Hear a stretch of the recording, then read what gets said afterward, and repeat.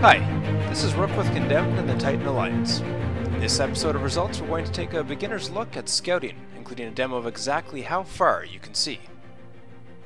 As a scout in Guild Wars 2 World vs. World, you need to assist your raid leaders by monitoring enemy movements. One tool for doing this will be checking the map frequently to look for any battle markers. Now white battle markers, similar to these crossed swords, appear if a small group attacks an NPC and reddish-orange markers appear if a slightly larger group attacks an NPC or player, of course. The current numbers are displayed here, and I'll try to update them as they change. Notice that from these numbers, it's possible for a discipline group to move from area to area, and if they do not attack anyone, or if only two people attack, no battle symbols appear. Presently attacking walls with no players or NPCs on them will not create a battle marker either, though hopefully this will change in the near future. So battle markers alone are not a good enough indication of where your forces are needed or of areas they should avoid. We need eyes on the enemy, but how far can you see? Assuming it's daylight and not snowing too bad, you can typically see a person and their tag automatically at 2.5 to 3k. Of course, if you're that close, you've been spotted as well and are known to be an enemy. Not good. This corresponds to the edge of ballista range and is well within catapult range. So what if you're further away, say 5k?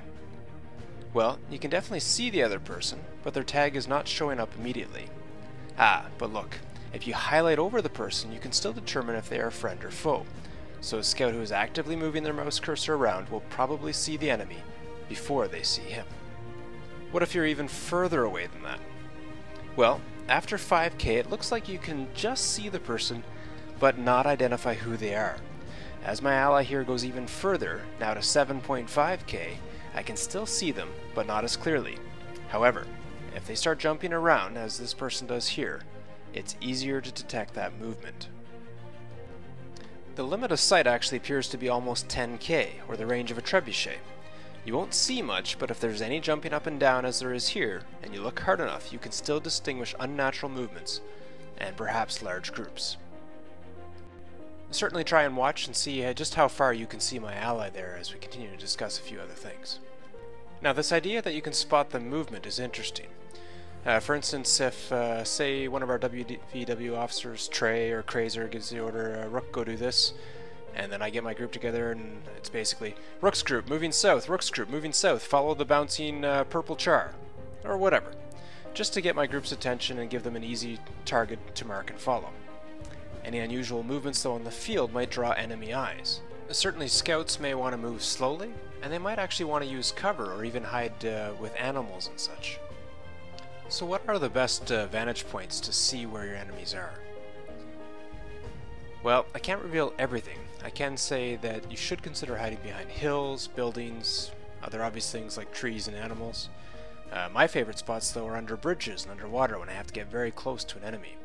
You saw how difficult it was to see past a range of 5,000, so even hiding behind uh, the smallest thing could make the difference. What are the best classes for scouting? Certainly there's been arguments for Mesmers to scout uh, because they can provide quick gates for parties to move a range of about 4,000.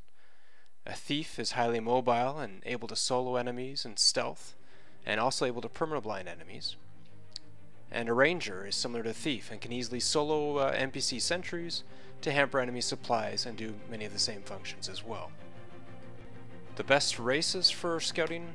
Certainly the shorter the better. Once you're over 2.5k as you can see, you're going to blend in better to the surroundings or hide behind smaller objects easier. One of the most difficult things to consider is engagement. I've seen in my work how most mistakes happen when a controller is just sitting in front of the radar screen and his attention starts to wander, usually during a really slow period or because they have been sitting in the position for more than an hour. To keep yourself or your scouts engaged, you may wish to rotate them out, or at least switch their positions occasionally.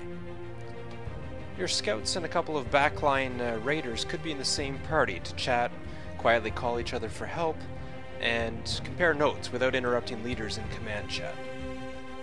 But really, scouts need to find ways to keep themselves engaged, and they should have permission to do a couple of things to help themselves stay alert. However, the main objective of a scout is staying alive.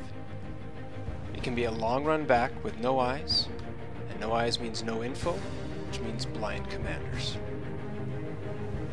This is Rook from Condemned and the Titan Alliance. Thanks for watching. We'll see you out on the battlefield.